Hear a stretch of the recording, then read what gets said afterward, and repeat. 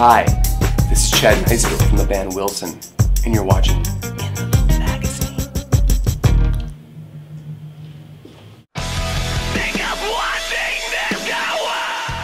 I'm very excited to be here. Go Cubs. That's uh, freaking huge. Uh, 108 years since they've even been in the series.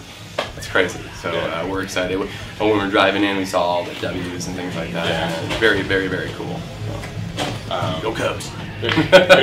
it's been a while since we played in proper Chicago. Uh, I think that maybe that Trivium Tremonti tour last Yeah. time. Where was that? Oh, that was in uh, uh, Concord. Concord.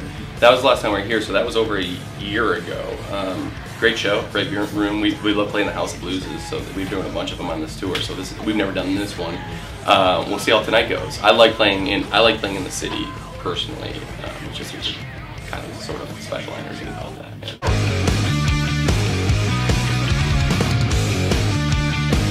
Great man, these guys are awesome. The shows are right up our alley. The, the fans are, are super warming and welcoming. We were kind of worried maybe they wouldn't be into it, but it's been great. Um, the, the band themselves have, have been nothing but a gentleman to us, and their crew's been awesome. Uh, we're pretty blessed and fortunate to be in the position we are.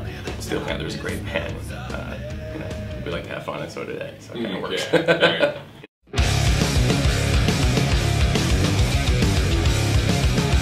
We, um, we, when we started the band, uh, Jason Zeal, an original member, I came in pretty shortly after that. Once uh, it started to take shape and like we were playing out more, um, I I book bands in the uh, in in Detroit or whatever, and I booked them. I saw them play. I said, man, this band's really great. They said, oh man, we're losing our singer. I don't think we're gonna continue. And I was like, uh, just could I try out? I've been in bands before. I I kind of knew um, Jason through the through the grapevine. Um, the rest of the guys, as the band kind of like formulated and took more of a shape and we started to be uh, more serious about what we were doing, not just playing for free beer. Uh, the guys who were just really weren't interested in doing that, they left and we started replacing them with people who were on the same page length, uh, same page and wavelength as, us. And those people uh, had either been playing with us in previous bands before, or we had known them through other places, and uh, you know we just kind of found the right guys.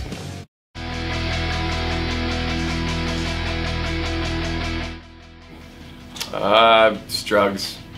No, um, uh, I think you know when the band started out, uh, it started out as a way for us to like have fun, release, and you know it was never we never really thought about where we we are currently at when we started. So it was just like just pounding energy, and I really never was a screamer in a band before. So I, I kind of like at first just kind of like unnecessarily like released all of this built up, I guess, like shit inside of me just because I, I needed to do something and because I felt a little uncomfortable in my own skin. It was, and that just kind of carried over to where we are now. Now it's like just become uh, ingrained in our DNA, you know, we don't step on the stage and not leave that stage uh, without it being soaked with our, uh, our, our insides. Yeah, yeah, yeah, yeah. We, we kind of got the ship thing. It's been a year since we've done it, so it'll be weird. But for a while, we did those three back to back in less than a year and a half. So it was like we did two ship rocks and one motorboat. So this will be a fourth cruise as a band um, in general. Uh, so we're kind of seasoned as far as that goes, but it's always different, you know. So it's a new ship, for instance, this year. So instead of knowing exactly what our stage layout would be, things like that, right. we don't know. Yeah. So.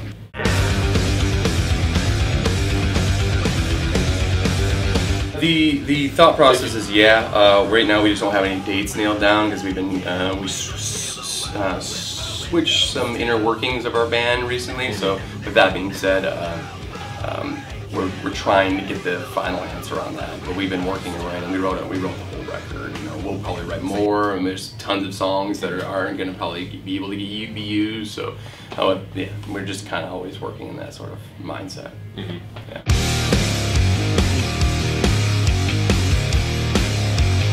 I think we kind of lean on each other for those sorts of things because every, I mean, everybody's creating all the time, but like sometimes like there'll be like a couple weeks go by, I'm constantly like just sending like voice recordings, like shitty little voice recordings of me on the guitar, you know, play, singing some melody, and I'll send it to somebody else, and that may or may not spark an idea or, or push them to like come up with something as well. Just you know, hey, that's cool. Hey, I'm gonna jam it out. Let's figure it out, and then they write something else that's completely different, and like, hey, check out this idea. You know, we just kind of lean on each other like that. You know.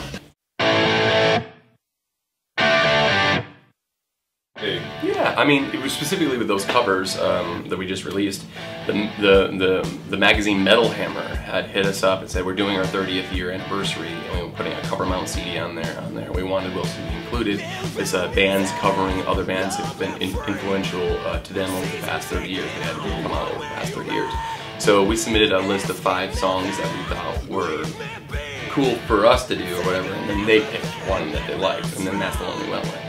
And then with Nazareth, we recorded that record, that song for the record, Right to Rise. It just didn't make it on the record, so we had this other thing put aside. So, uh, you know, because we were talking about like, you know, some songs that we really loved, and the producer and I had and said we'd go like this song, Hair of the Dog, and everybody else had got on board. So with that, that's how that happened. Then we just sat on it and released both of them at the same time. okay. Yeah. Now, was that kind of same thing with uh, Back in Black?